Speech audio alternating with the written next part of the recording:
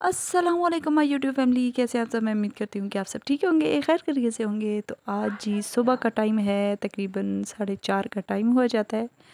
तो आज हमने कहा कि जी रोज़ ही हम लोग लेट उठते हैं, कामों से लेट हो जाते हैं। तो आज हमने कहा कि जल्दी उठ जाएँ। सिस्टर ने आज मुझे जल्दी उठा दिया कि आज अबू जो हैं और भाई जो हैं वो घर पे नहीं थे, किसी काम के सिलसिले में घर से बाहर थे।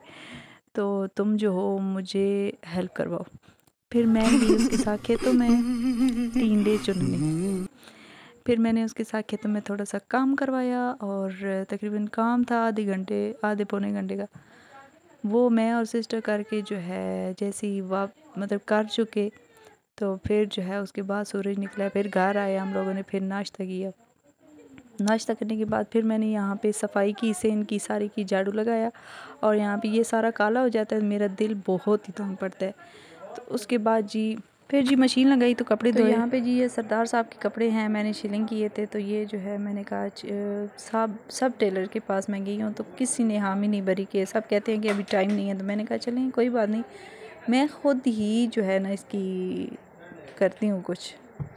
उसके बाद जी सिस्टर ने यहाँ पे चिकन कढ़ाई बनाई खाना वगैरह तैयार किया विद लस्सी विद सलाद।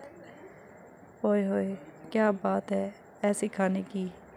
तो फिर जो है खाना वगैरह हम लोगों ने खाया। आज कोई इतनी ज़्यादा गर्मी थी ना, इतनी ज़्यादा गर्मी थी कि एक कदम भी नहीं रखने हो रहा था कि बाहर इसलिए शुक्र है अल्लाह का काम जो बाहर वाला था हम लोगों ने जल्दी जल्दी इसी वजह से ख़त्म किया था कि जल्दी जल्दी से काम ख़त्म करके कूलर के आगे लेट जाए। यहाँ पे एयर कूलर लगाया, फिर हम लोगों ने सबने रेस्ट किया। अम्मी लोग और भाभी लोग जो है वो गए हुए थे बाज़ार। घर में हम लोग ही थे बहनें तो फिर जो है हम लोगों ने एयर कूलर चलाया और सो गए। जैसे ही सो के उठे तो अम्मी और भाभी वापस आ चुके थे। उन्होंने हमारे लिए लेके आए, गोलगप्पे लेके आए। तो फिर जो है यहाँ पे सब हम लोग गोलगप्पे खा रहे थे।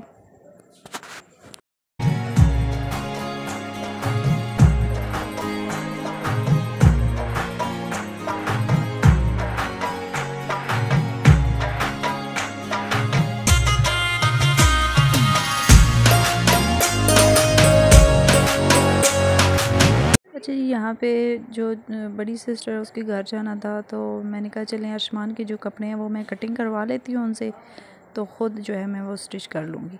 तो यहाँ पे बड़ी सिस्टर जो मेरी हैं, वो और बच्चे जो है, सब, हमने कहा, चलिए थोड़ी सी बच्चों की आउटिंग भी हो जाएगी, क्योंकि उनका घर थोड़ा सा हमारे घर से काफ़ी दूर है।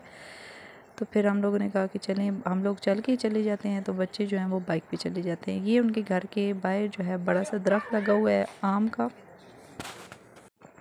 तो फिर जी उनके घर में हम लोगों ने जो काम वगैरह करना था, हम लोगों ने करवाया और फिर जो है शाम होने लगी थी। मगरब का टाइम होने लगा था। हमने कहा, मगरब से पहले पहले अगर हम लोग घर पहुँच जाएँ तो बहुत ही अच्छा होगा। तो फिर जी यहाँ पे सिस्टर जो है वो कटिंग करके दे रही थी। आई होप सो कि आपको आज का ये मेरा ब्लॉग पसंद आएगा। अगर ऐसा है, मेरी वीडियो को लाइक करें शेयर करें और सब्सक्राइब करें मेरे चैनल को। मिलते हैं जी नेक्स्ट अच्छे से ब्लॉग